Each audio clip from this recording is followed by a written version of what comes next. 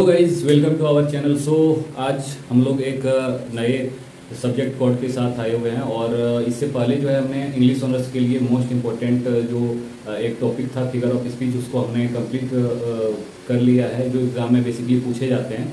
और आज हम लोग एफ़ एस टी वन का स्टार्ट करने वाले हैं, ये सब्जेक्ट कोड को हम लोग कंप्लीट करेंगे पूरी तरह से। मैं आपको बता दूँ कि एफ़ एस टी वन जो है, ये बेसिकली सेकेंड ईयर वालों के लिए मोस्ट इंपॉर्टेंट जो है आपका सब्जेक्ट कोड है, जिसमें सबसे अधिक बच्चे फेल करते हैं। अब मैं ये बात क्यों बोल रहा हूँ, सबसे अधिक बच्चे फेल क्यों करते हैं? क्योंकि F S T zero one कोई एक पर्टिकुलर सब्जेक्ट नहीं है। इसमें बहुत सारे सब्जेक्ट को कंबाइंड करके एक यहाँ पे सब्जेक्ट कोड को बनाया गया है, जिसके कारण इसमें आपको फिजिक्स के भी क्वेश्चन मिल जाएँगे, इसमें आपको बायोलॉजी के भी क्वेश्चन मिल जाएँगे, इसमें आपको ज्योग्राफी के भी मिल जाएँगे हिस्ट्री के भी मिल जाएँगे। फिलोसफी के भी मिल जाएँगे। सारे सारे जितने भी आपके सब्जेक्ट्स हैं, सबको कंबाइंड करके ये जो है हमारा सब्जेक्ट कोड बनाया गया इसलिए क्या होता है, अक्सर इसमें बच्चे एक बार नहीं दो दो बार तीन तीन बार फेल कर जाते हैं। तो मैंने पिछले एग्ज़ाम जो हमारा दिसंबर सेशन का एग्ज़ाम हुआ था, उसमें भी मैंने बहुत ज़्यादा हेल्प की थी बच्चों को और कमेंट भी आया हुआ था आफ्टर एग्ज़ाम की बहुत ही ज़्यादा हेल्पफुल रहे हमारे वीडियो उनके लिए। और आज मतलब जून सेशन के एग्ज़ाम के लिए मैं फिर से जो है वीडियो आपको, आपके लिए लेके आया हूँ। ये वीडियो बेसिकली मैं इसलिए लेके आया हूँ क्योंकि जो बच्चे अच्छे मार्क्स लाना चाहते हैं फिफ्टी ज़ीरो वन में, मैं इसमें हर एक चैप्टर वाइज पूरी जितने भी इंपॉर्टेंट क्वेश्चन है सबको कराऊँगा। और जिसे भी ये पूरी वीडियो देखनी है या फिर जिन्हें भी अच्छे मार्क्स लाना है, वो ये पूरी वीडियो देखे, ठीक है? और डेफिनेटली इसी के अंदर से क्वेश्चन पूछे जाएँगे। जो भी इंपॉर्टेंट टॉपिक्स हैं, सबको यहाँ पे मैं डिस्कस करूँगा। और हमारे साथ जुड़े रहें। अगर नए हैं हमारे चैनल पर तो सब्सक्राइब कर लें। अगर आपके आसपास में आपके कोई पड़ोसी या फिर भाई बहन अगर कर रहे हैं ग्रेजुएसन इग्नू से तो उन्हें हमारे चैनल को रेफ़र करें ताकि उन्हें भी थोड़ा सा सपोर्ट मिल जाए। तो चलिए, अभी चलते हैं वीडियो पे। आज हम लोग most important topic F S T zero one जिसका नाम है विज्ञान का इतिहास, यानी कि सॉरी ये एक चैप्टर है, ठीक है? अध्याय वन में है, ठीक है F S T zero one विज्ञान का इतिहास हम लोग तो जानने वाले हैं, ये हम लोग का ब्लॉक वन में चैप्टर वन ये है। हिस्ट्री ऑफ़ साइंस यहीं से स्टार्ट होता है। यहाँ से भी अक्सर क्वेश्चन पूछ दिए जाते हैं, क्योंकि इसमें भी जो है, यहाँ साइंस स्टार्ट कहाँ से हुआ, ये बेसिकली इसमें हम लोग को जानना रहता है। तो मैं आपको थोड़ा सा डिफिनेशन बता देता हूँ, ठीक है?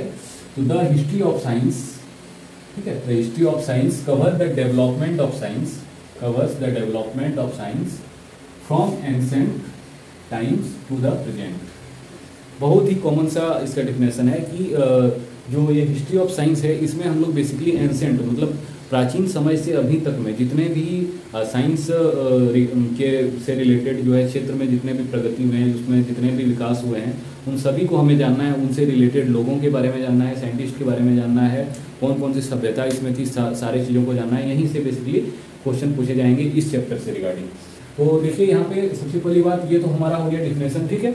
अब मैं यहाँ पे बताता हूँ आपको कि देखिए, सबसे ईयरलीस्ट रूट जो था हमारा, आपको अगर ईयरलीस्ट रूट के बारे में बोले कि साइंस का स्टार्टिंग कहाँ से हुआ था, कहाँ से साइंस साइंस डेवलप करना स्टार्ट हुआ था तो यहाँ पे ईयरलीस्ट रूट जो हो जाएगा, वो हमारा एंसेंट इजिप्ट था, जिसे आज हम लोग मिस्र के नाम से भी जानते हैं, ठीक है?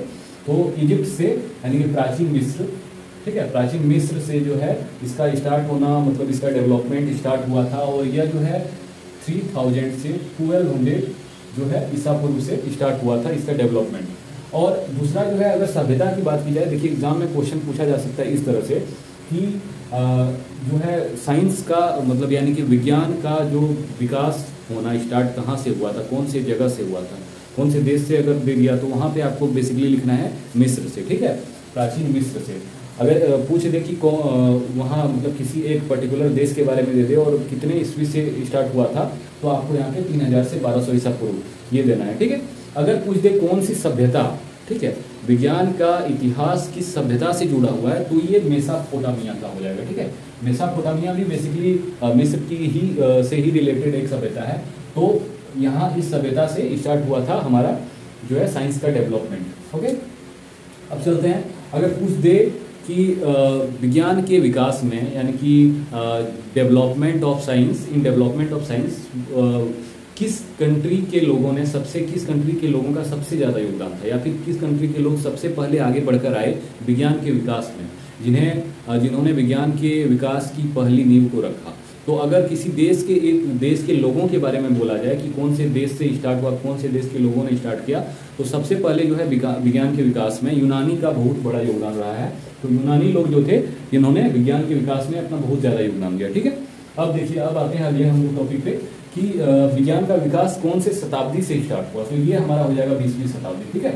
और बीसवीं शताब्दी जो है, बीसवीं शताब्दी को बेसिकली देखिए, बीसवीं शताब्दी में जो सबसे ज़्यादा डेवलपमेंट वाले चीज़ खोजे गए थे, या फिर साइंस से रिलेटेड वो थी हमारी अनुवांशिकी। तो अनुवांशिकी के बारे में आपको बता दूँ, देखिए, मैं यहाँ पे कुछ टॉपिक्स इंपॉर्टेंट टॉपिक्स के बारे में बताऊँगा, उससे रिलेटेड क्वेश्चंस को भी कराते जाऊँगा, ठीक है?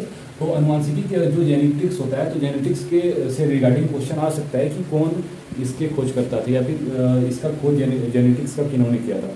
तो आप लोग जानते होंगे कि मेंडल जो थे ग्रेगर मेंडल, ठीक है? मेंडल, ठीक है? तो ये मेंडल जो थे, इन्होंने जेनेटिक्स का खोज किया था।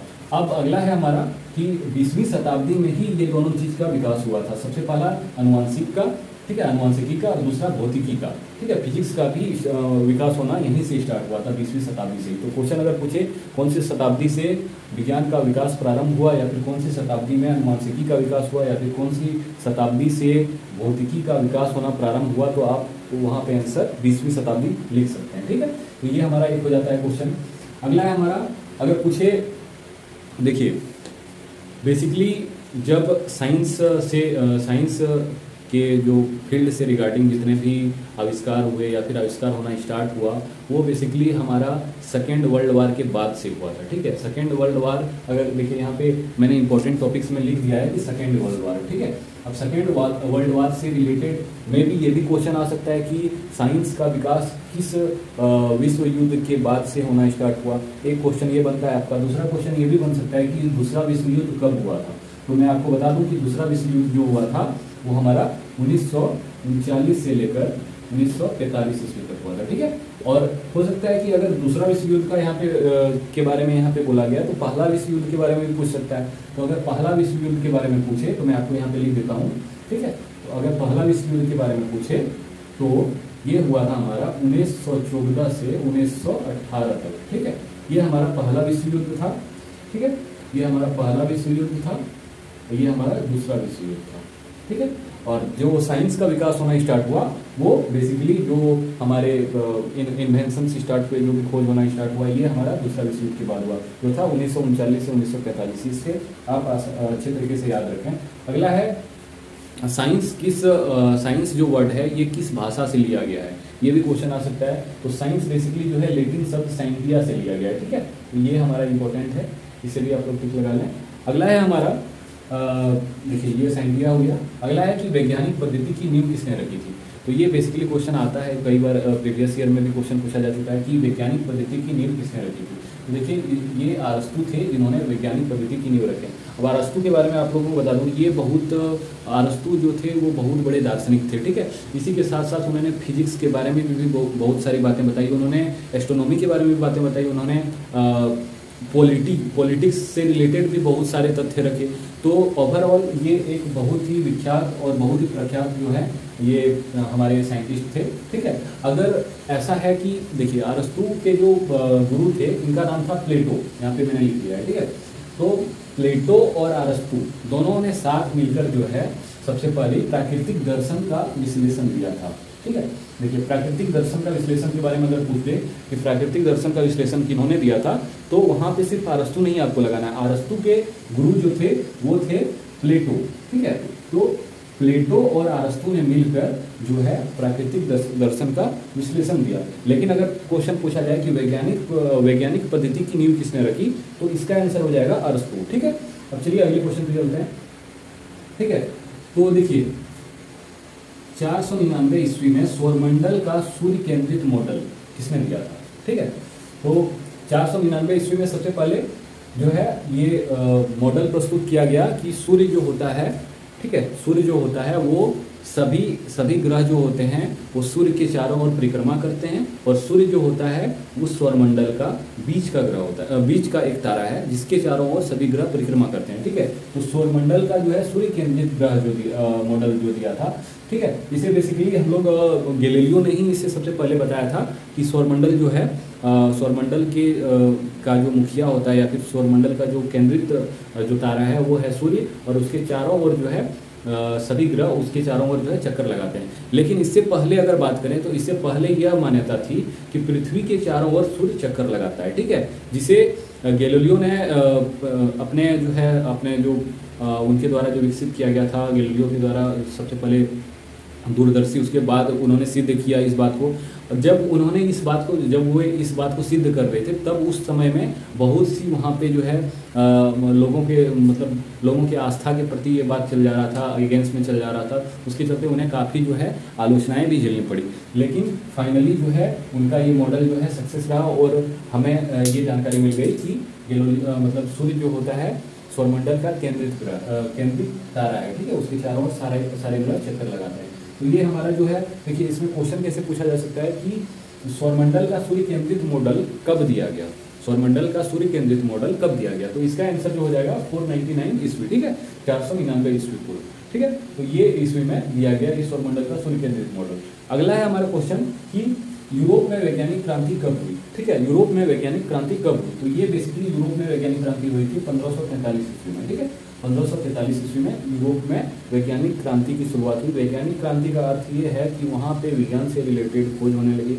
विज्ञान के प्रति वहाँ के लोगों का आ, मतलब वहाँ के लोगों के का जो है अटेंशन ज़्यादा हो गया।